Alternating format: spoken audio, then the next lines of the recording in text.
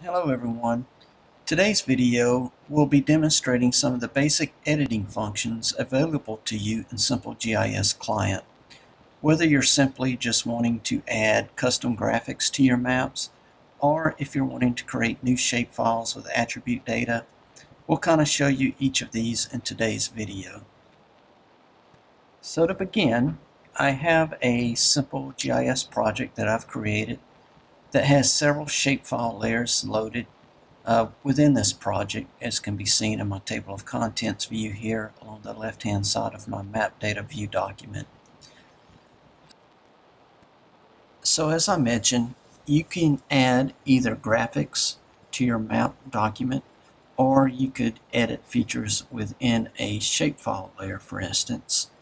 And really the difference is with the graphics um, Graphics have no associated attribute data with the graphic. They are simply drawings on top of your map. In addition, uh, graphics are stored and saved within your simple GIS project file versus a shape file is really a data table and these are all along the table of contents here on my left hand side. In this particular case these are shape files. I uh, could have raster layers or web mapping services loaded in this as well. But the shapefile um, contains the geometry of the features plus attribute data and then it's symbolized based upon the legend that you set for the shapefile. So in this case I can see under natural features uh, I have several different uh, categories based upon an attribute uh, within the shapefile table that tells it what symbol to use uh, when it draws those features.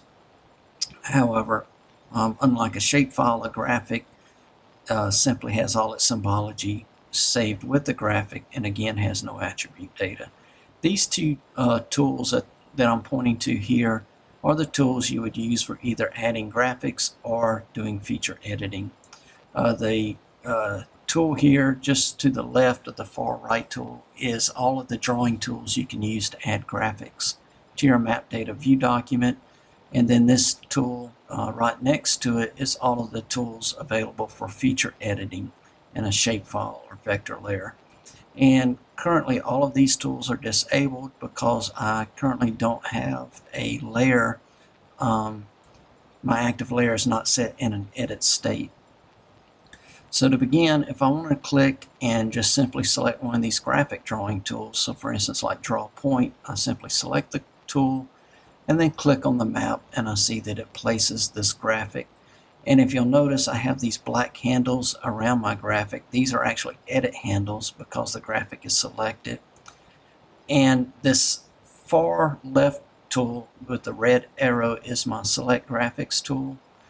And if I select that, I can see as I move my mouse over the selected graphic, I have options to edit it. So I see my mouse cursor change to this four-way arrow, which indicates I can simply click and drag to move that graphic to a new location. I can click and drag on any one of these graphic handles and stretch and resize my graphic. And I can, with my selection tool selected, if I click off of the graphic, I see that the handles disappear. I can reselect it by simply clicking and dragging a box to intersect the graphic. And then with the graphic selected, I can delete the graphic by simply hitting my delete key on my keyboard, which will delete all selected graphics out of my map data view document. Next, I just selected draw polyline from my tool list, and I just simply click at each location for where I want to place a vertex for the line and now if I use my select graphics tool, I can use these graphic handles again to stretch the line if I want to resize it. I can even click on the center handle and click and drag to actually rotate the line if I so choose. One thing I need to mention here is you notice the symbol that is used to render the graphic with. This symbol is inherited from your view um, properties, if you go under your view menu and go to set view properties, you see you have default symbols for points, lines, text, and polygons. So as you add new graphics, it inherits these default symbols. and I could change this default symbol if I wanted to for any particular line. And now notice if I draw a new polyline and I just double click to complete the line, I think I forgot to mention that earlier, but you see that it has now rendered with the new uh, symbol. But also notice if I double click on this graphic with my select graphics tool, it brings up this graphic properties dialog box. And I see I have this current symbol under the symbol tab. I can double click on the symbol and actually choose a new symbol for the graphic if I so choose. So I just simply can select a symbol from the palette and see it change in the dialog box and when I hit apply I see that my polyline is now rendered with that new symbol. If I double click on the graphic again and bring up the graphic properties dialog box, you see there's also a geometry tab that lists all of the points uh, on the polyline. As I click on these points, you can see it highlight the vertex on the line itself. And then there's also a graphic tag that you can associate with a graphic, which is just uh, acts as a, an identifier um, for the graphic itself. Typically, you really wouldn't need to use that, um, but there may be some special cases to use that. So in this case, again, you can see I can stretch and move uh, and resize the graphic feature using these handles. But also notice if I, uh, let me move up here so you can see the entire menu, but if I right click in my map data view document, I have all of these uh, other edit options. So one of them is called Edit Vertex. And what that enables me to do, if I use my select graphics and reselect my line, you see now instead of getting the uh, handles around the graphic, I actually have these points highlighted for each vertex location on the line. And I can just simply click and drag to edit and move this vertex. So if I right click again, you can see I can add a new vertex if I so choose in the line by simply selecting that menu option and then clicking on the line where I want to add that new vertex point. And so now if I go back to my right click menu and say edit vertex, you can see now I can even drag this new vertex I just added and edit the line again. In addition, I can actually turn snapping on to snap to vertexes of other features. Uh, so right now, my snap target, I'm going to make this natural features, my active layer, my table of contents.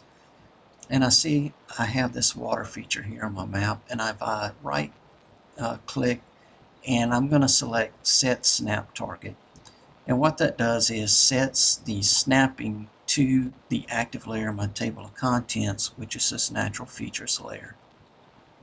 And now if I select snap to vertex, and if I was to go and edit one of these vertexes, if I drag it on this water feature, you see how it is snapping to the vertices uh, within that feature.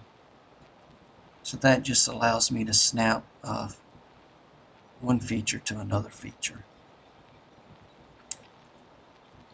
And I'm going to disable snapping.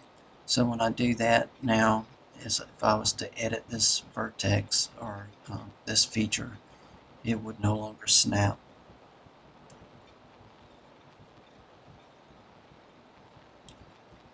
So I'm going to come back and select graphics and I'm going to drag a box and select both of these lines which uh, you see now that they are both selected you can see the uh, vertices highlighted on each line feature and if I just hit my delete key it has now deleted both graphics uh, out of my map data view document. And I'm also going to disable vertex edit uh, for now. So now, uh, let's say we wanted to create a new shapefile. So if I went under my layer edit menu, there is a new shapefile option I can select. And here um, first thing I need to do is in this dialog box that comes up, I'm going to click this uh, button with the folder icon to bring up a new file dialog box. And so in this file dialog box, I simply uh, navigate to the folder uh, where I want to create the new shapefile. Uh, I'm going to leave it set under my public documents folder. And I would simply type in a new file name for my shapefile. So this one I'm just going to call my polygon shapefile and click open which will put the file name and in a shapefile a, a single shapefile can only contain one type of geometry so it can contain all points or it can contain all polygons polygon or what we call multi-point features which is a single feature but that is composed of multiple points in this case, I'm going to select polygon for my geometry type. And now I would need to add uh, what field, what attribute fields I want to store in the shapefile. By default, it just sticks uh, this one field called FID, which is a type of integer. Uh, that's the type of data that it would hold. To add a new field, I simply click on the plus button, type in a name for the field, what type of field, and in particular, if it's a string field, how wide uh, the field needs to be. And then also, if I want to create an attribute index on that field, I would check this index box. By default, again, when you create a new shapefile, it'll uh, have the FID field just added since a shapefile must contain at least one field. Uh, but now I added a couple others and when I click OK it asks me it creates the shapefile and asks me if I want to add it to my view which I do and I see that it has been added to the top of my map data view document at the top of my table of contents. So now if I wanted to edit this shapefile and again this is uh, the new one I created but this could be any shapefile that you've added uh, into your map data view document.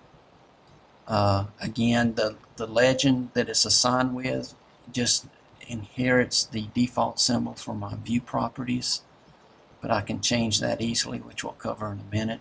But to begin editing the shapefile, I'm going to go underneath my layer edit menu and with my shapefile, the active layer, my table of contents, I select the toggle edit menu option. And as I do that, uh, if you'll notice this uh, X that was next to the box to my layer name, which indicates whether the layer is turned on or not in my uh, view, changes from a black to a red X. The red X indicates that the shapefile is in an editable state. Um, so it is open for editing. And so now I can simply come here, not to my graphic tools here, which adds uh, graphic features, but to the tool list right next to that, I see I have all of these um, feature edits.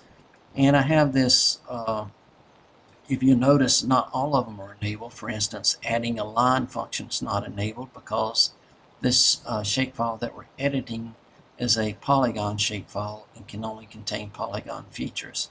So I see that I have add rectangle, add ellipse, or add polygon.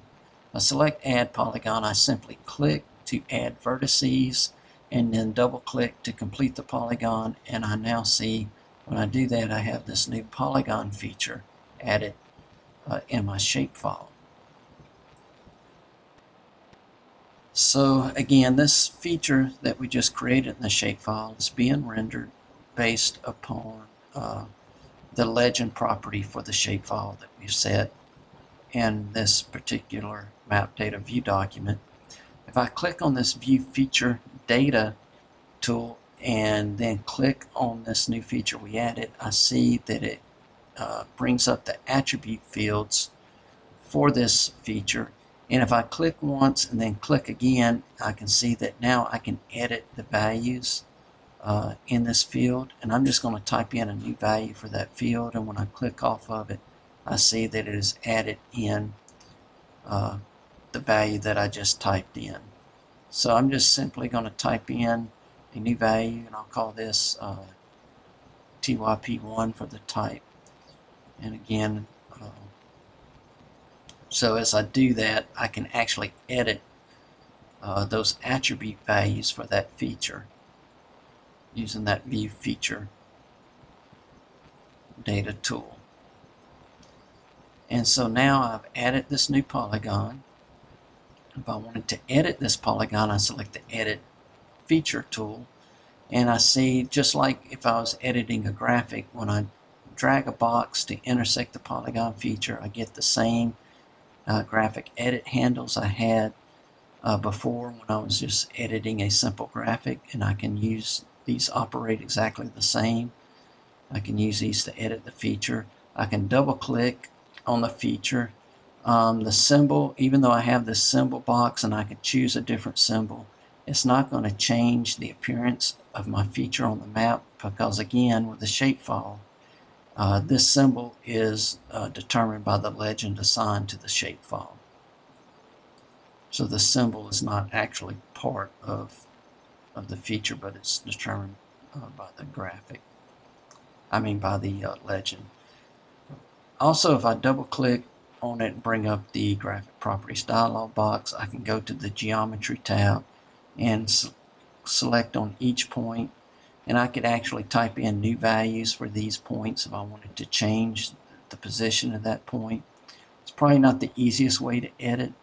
Um, again, I can use my Edit Vertex tool, right-clicking and selecting that from my right-click menu to actually edit these individual vertices uh, if I wanted to do that. And again, I can do snapping as well. So again, I'd already set uh, the snapping to the natural feature. So if I just enable the snap to vertex, I see as I edit and move the vertices on this polygon features and I move over this water feature which is in the natural feature shapefile, it actually snaps to the vertex uh, that I'm closest to as I move my mouse over that feature. And again, the symbol that the feature is rendered with is based upon the legend uh, specified for the shapefile. So I can see it here and I'm just going to go and I'm going to disable my snapping. So I'll scroll down to disable snapping and then I'm going to uh, disable the vertex editing.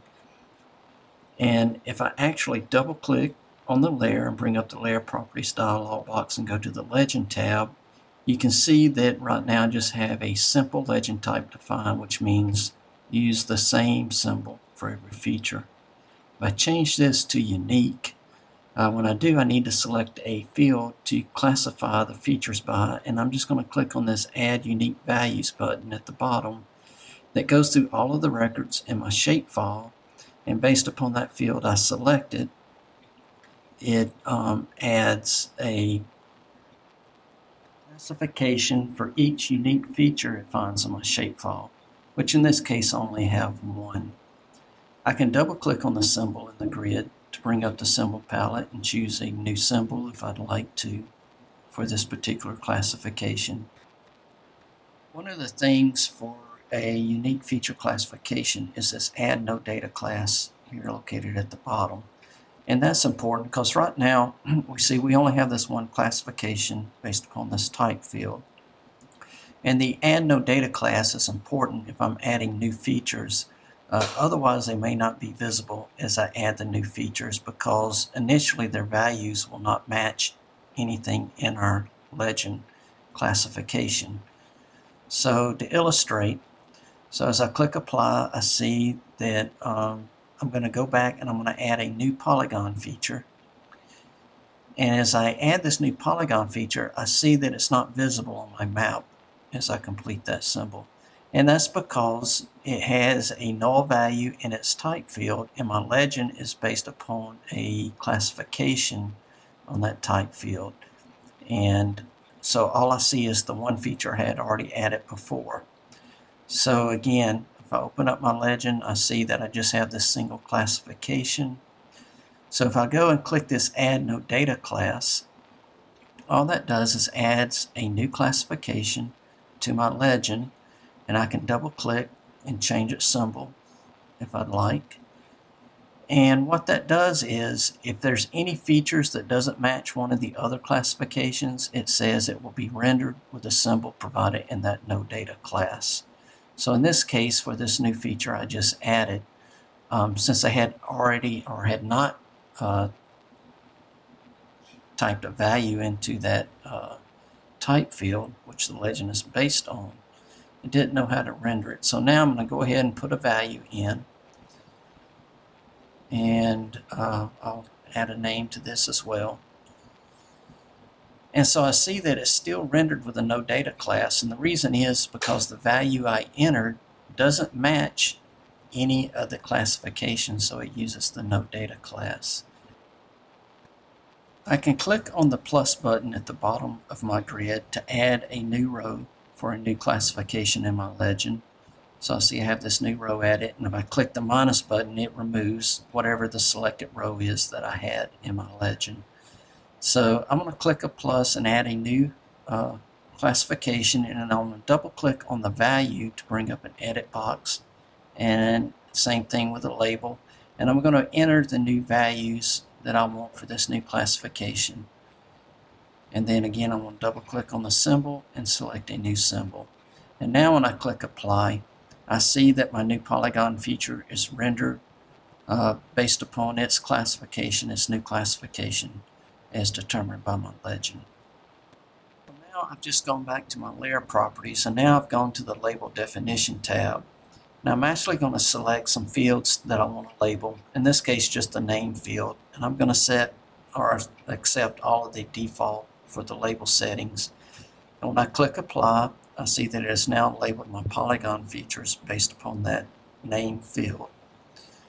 And so one thing I want to show you is the undo and redo functionality. So under my layer edit menu, if I select layer edit and undo, it undoes the last edit operation, which was in this case the name field or the name value I had put in the name field on my new feature. And if I continue to select undo, I see now that it's gone back to the no data class rendering because it has removed the uh, value I had put in the type field. And if I do undo again, it actually removes the feature. Likewise, if I come under layer edit and select redo, it just redoes all of those edit operations that were just undone. So as I continue to click redo, I see that it restores uh, back my edit operations. So this concludes the basic editing tutorial, but um, if you just look at some of the layer edit tools here, you'll see that there are lot of advanced editing features as well as under the layer edit menu here, which we'll be covering in a future um, demo. Um, I just encourage you to look for that. It'll be covered some of the advanced editing features available to you in Simple GIS. And of course, as always, uh, if you'd like more information, please visit the website the website is www.simplegissoftware.com. Thank you.